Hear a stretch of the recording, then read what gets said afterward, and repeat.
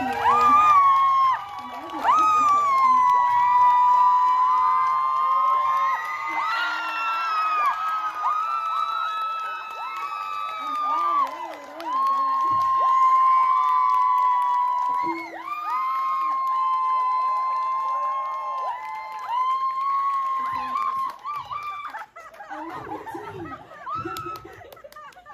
that gave me enough break of a break to like take a sip, so thank you so much.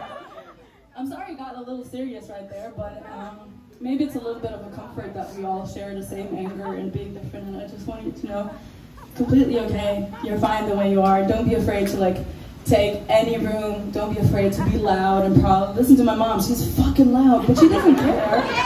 She's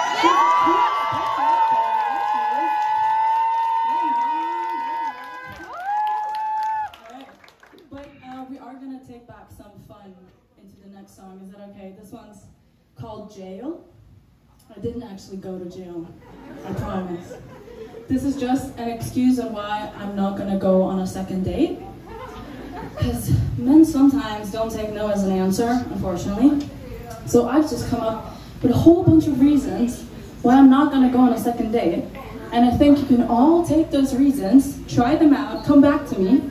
This is a study, and then we'll see how effective this song is, alright? This is called Jail.